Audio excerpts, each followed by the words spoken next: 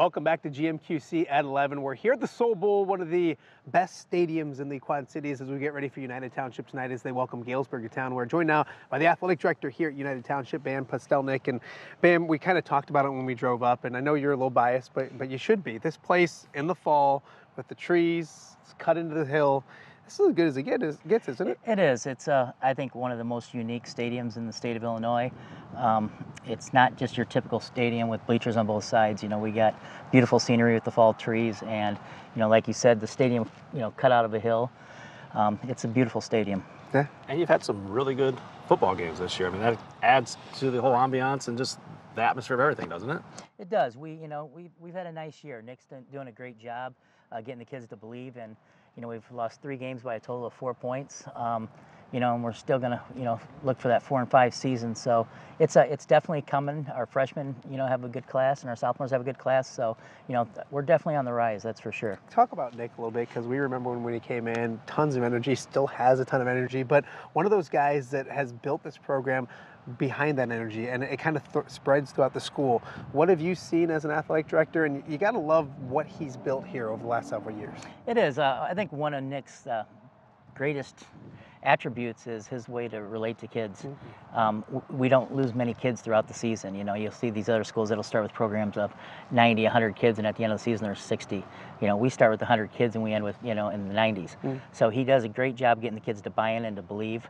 And because of that, you know, when you have numbers, you can start to produce. And he's done a good job of that. And he's walked the halls. He's told the guys, hey, come out and play. I, obviously, the win loss record, that's one thing. But to get the guys to come and play, maybe as a freshman or sophomore, and get them to stay, that's a, a big kudos to him too because obviously kids can go and do so many other things nowadays. No, it is. You know, a, a lot of kids, you know, they make the excuse, I got to go work.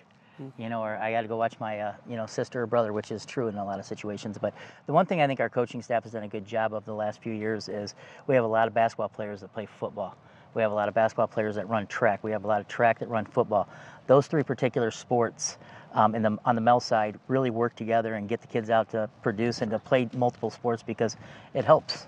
It helps in the training of all the sports. So this is kind of the, the calm before the storm for you. What, what are your Friday nights or Friday days, nights like? Because getting these things set up, and I know you got plenty of help, so and give love to the help that you do have. But it, it is it is a busy Friday for you when you're getting ready to put on a football game uh, for for a couple thousand people. It is. You know, most people don't understand. You know, quite what an athletic director does. A lot of the behind scenes. Um, luckily, I do have a great crew, a great crew of administration, and a great crew of uh, table workers and announcers and ticket takers and security and everything that make these Friday nights go well. Um, concessions and boosters especially. Um, but it is. It's a lot of work, and uh, um, I'm gonna miss it. Mm. Kinda. Yeah. So, so there is work that you do, or no, a little bit. I usually just go and watch a game, and, and sit on the sidelines. You did mention you're gonna miss it. It's this is this is your last run. Right. Are it you is. enjoying it? Are you soaking it up? Are you taking advantage of the few Friday nights that you might have left? You know, I, I really haven't yet. Um, I think it'll hit me more than I'm retiring come in the spring, you know, in baseball when it starts getting nice out and like, ah, this is it, mm-hmm. you know. Um, right now, though, I feel like I'm in the, the first trimester yeah. of this year, you know, and, and finishing it. So I still got a lot of time to go. You know, and I still want years young and retiring. Who, yes, who would have yes. thunk it? um, you, you did senior night early in the year. Normally it's like this game, the last home game of the season. Why make that switch instead of leave it on week nine and, and do it earlier in the year like you guys did? You know, we uh, we saw a lot of schools start going to that. Uh, LaSalle Peru did it, and Sterling did, does it as well. Um, and our coaches talked, and they thought they wanted to try it because one, it's nicer out. Uh, the conditions are nicer. Last year, if we would have had it on senior night, that was during that blizzard that they just mentioned, yeah. or that rainstorm, yeah. um, it would have been miserable. So we get the kids to do it, uh, you know, right off the bat, and that way it's it's over with and it's done with, and all the seniors are still there. We're going to talk a lot more football with Coach Welch when he joins us in the second half hour, but a little football with you, and I'm not going to make you figure out who has to lose in order for you guys to get in. But watching these guys kind of grow up in front of your eyes because it's a younger younger Panther team, but a talented one. It's got to been fun to, from the sidelines, watch this team kind of grow up. And the beauty thing is there's been a lot of heartbreak, but they still keep coming back and they keep ready for practice and all that kind of stuff. No, they do. And we didn't know exactly what type of team we would have at the beginning of the year. I mean, I'm sure Nick and his staff did.